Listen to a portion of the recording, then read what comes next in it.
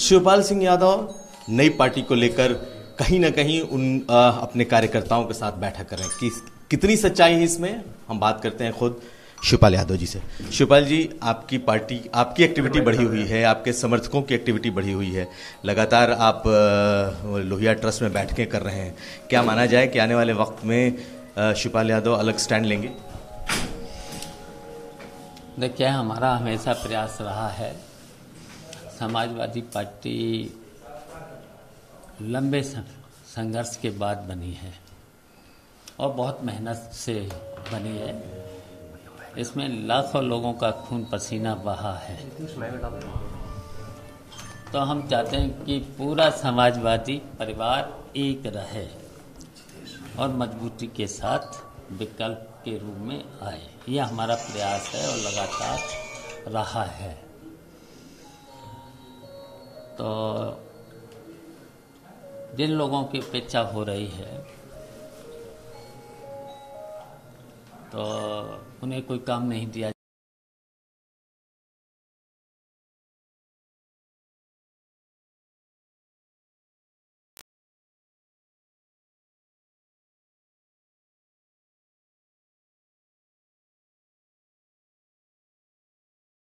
जो अपेक्षित लोग हैं, जिन्हें काम नहीं मिल रहा है।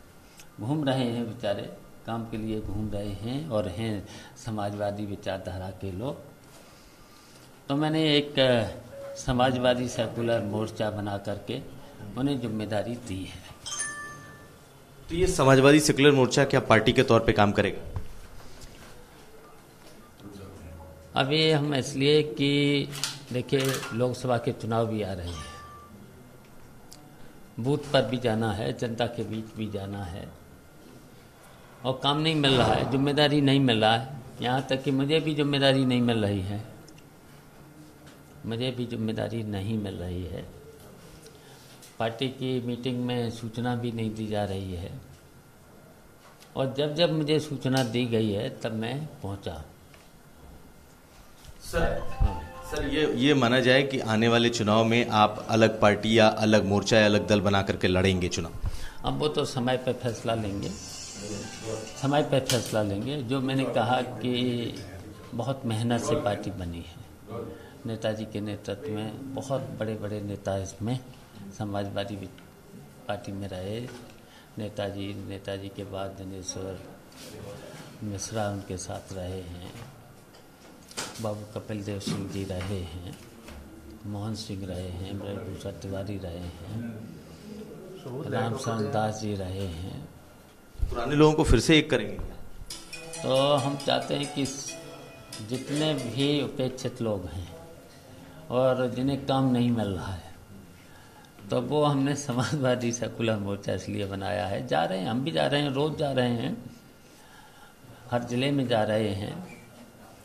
और अब चुनाव नज़दीक आ रहा है तो और तेज़ी से के सवाल मुलायम सिंह जी का क्या होगा किधर रहेंगे? अब वो तो वही बताएँगे। मैं तो चाहता हूँ उनका देखिए सम्मान रहे उनका सम्मान रहे। तो उनकी जगह पे आप उम्मीदवार नहीं देंगे सर। अब वो तो बात की बात है। वो तो बाद में फैसला पार्टी लेगी। पार्टी फैसला लेगी। तो ये थे शिवपाल सिंह यादव। साफ़ तौर पे इन्होंने नई पार्टी बनाने का एक तरीके से ऐलान कर दिया है। और ये समाजवादी सेकुलर मोर्चा के नाम से ही होगा। हालाँकि पूरी बात कुछ वक्त बाद सामने आएगी। हरीश कांडपाल के साथ लखनऊ, आज तक।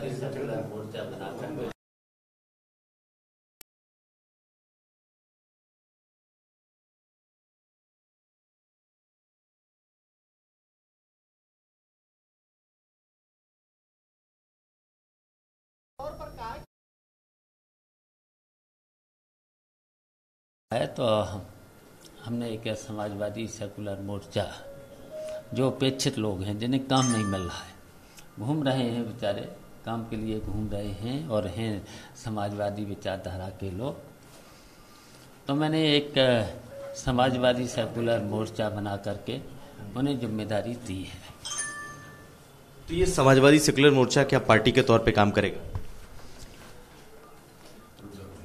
अभी हम इसलिए कि देखिए, लोकसभा के चुनाव भी आ रहे हैं।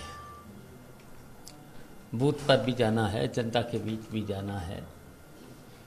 और काम नहीं मिल रहा है, ज़िम्मेदारी नहीं मिल रहा है। यहाँ तक कि मुझे भी ज़िम्मेदारी नहीं मिल रही है। मुझे भी ज़िम्मेदारी नहीं मिल रही है। पार्टी की मीटिंग में सूचना भी नहीं दी जा रही है। और जब जब मुझे सूचना दी गई है, तब मैं पहुँचा। सर सर ये ये माना जाए कि आने वाले चुनाव में आप अलग पार्टी या अलग मोर्चा या अलग दल बना करके लड़ेंगे चुनाव? अब वो तो समय पर फैसला लेंगे।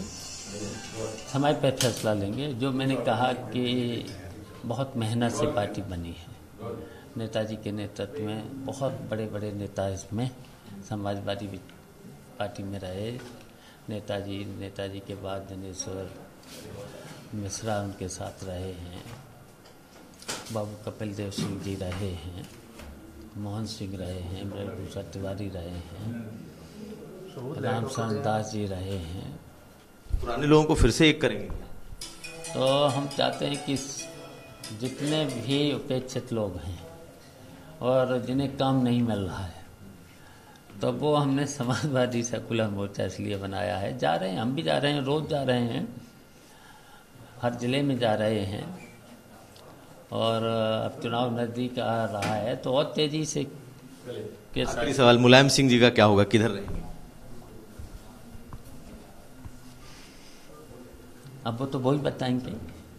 मैं तो चाहता हूँ उनका देखिए सम्मान रहे उनका सम्मान रहे। कि उनकी जगह पे आप उम्मीदवार नहीं देंगे सर। अब वो तो बात की बात है वो तो बाद में फैसला पार्टी लेगी पार्टी फैसला लेगी। तो ये थे शिवपाल सिंह यादव। साफ़ तौर पे इन्होंने नई पार्टी बनाने का एक तरीके से ऐलान कर दिया है और ये समाजवादी सेकुलर मोर्चा के नाम से ही होगा। हालाँकि पूरी बात कुछ वक्त बाद सामने आएगी। हरीश कांडपाल के साथ कुमार अभिषेक।